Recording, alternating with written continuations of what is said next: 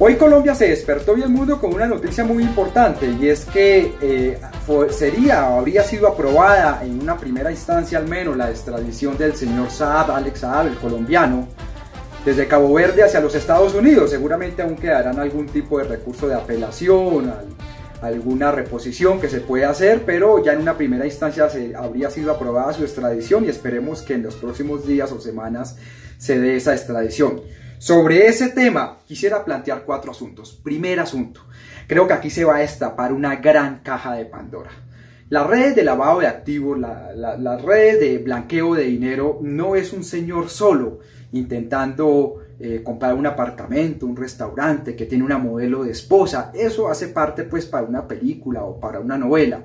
Pero en la vida real, las redes de blanqueo de dinero requieren mucha gente, requieren personas muy especializadas y técnicas. Digamos, en otros casos hemos visto que incluso crean comercializadoras de exportación, fingen exportar todo tipo de productos para después devolver el dinero y blanquearlo.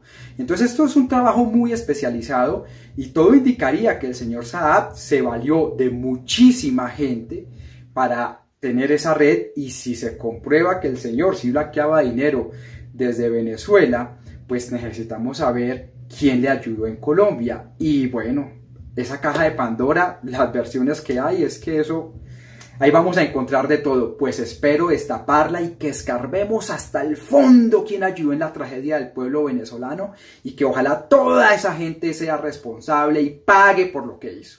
Segundo, pero además la información que hay sobre la forma como operaba el señor Saab es que es una de las redes especializadas de crimen organizado de blanqueo de dinero, tal vez más más importantes en el mundo. Es decir, esto se va a convertir en un caso emblemático para todas las personas como yo que estudiamos temas de crimen organizado y que estudiamos las estrategias de blanqueo de dinero. Todo parecería indicar que una red tan especializada como esas no se encuentra fácil en el mundo.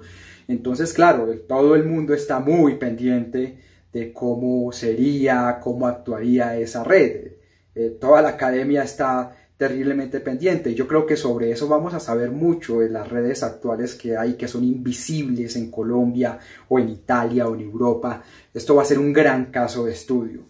Tercero, yo espero que no pase lo de Odebrecht. Con Odebrecht echaron a la cárcel unos mantos medios, unos mantos bajos, pero nunca hubo responsabilidad de nada. Nos tuvo que ayudar la justicia brasilera, sabiendo cómo está Brasil, o la justicia norteamericana de los Estados Unidos, eh, pero y si no aquí no se mueven. Y mire todo lo que ha pasado y, nada ha pasado. Entonces yo sí espero que en este en el caso del señor Saab no solo sepamos quiénes ayudaron en el saqueo de Venezuela sino que paguen y que haya responsabilidad penal. Y este es un mensaje para el fiscal Barbosa ya que usted dice que va a ser la gran fiscalía de la historia ahí tiene ahí tiene porque esto se va a llevar mucha gente por delante, entonces yo espero que aquí también sepamos de la responsabilidad que hay en el caso colombiano y que la justicia actúe, no solo que sepamos del tema de esa responsabilidad.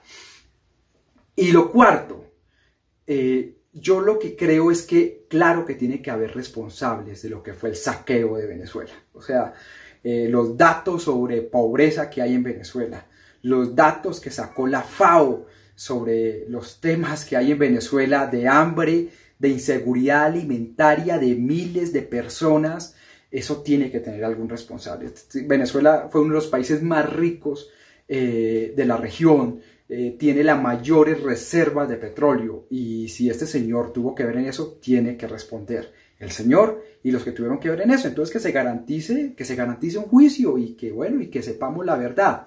Y una última cosa, si esto se da y el señor habla y la justicia norteamericana nos da a conocer todo, uff, se van a llevar muchas sorpresas ustedes.